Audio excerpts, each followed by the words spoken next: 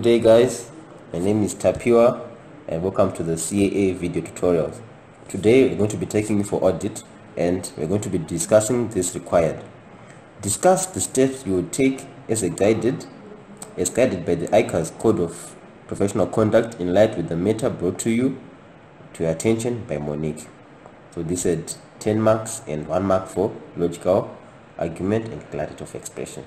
So what did Monique bring to us? Monique had brought this meta, tax, and payroll statutory payments and they identified that there is a there is some issue going on with uh, with Tinashe who was the finance director.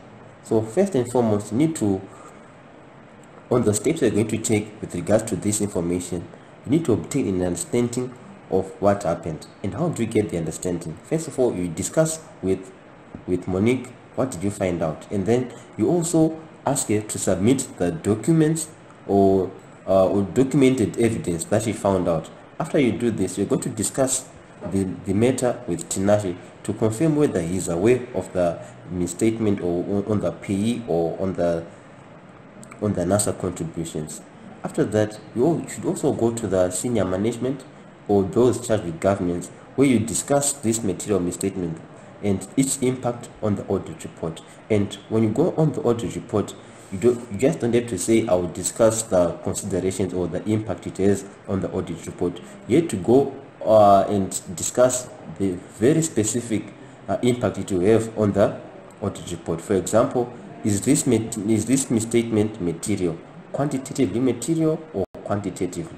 So you can uh, agree with me that this material misstatement uh, this misstatement will be qualitative material as it reflects on uh, management's integrity which may be in doubt. And also if Zimra and uh, NSSA were to find or discover out this misstatement they may charge or penalize the, the company heavily which may result in going concern being a threat. So this is how you'll be discussing these points. After that you should also discuss the pervasiveness of the of the issue.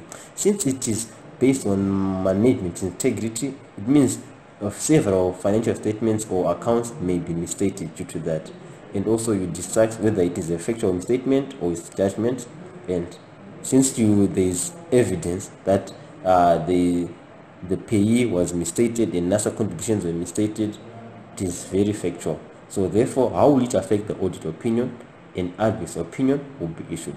After that, you also have to discuss the matter or seek guidance from ICAS.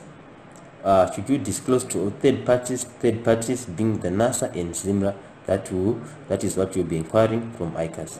So ladies and gentlemen, this was a giveaway. Make sure you, if an issue or, or of non-compliance comes, uh, you ace it. Thank you for your time.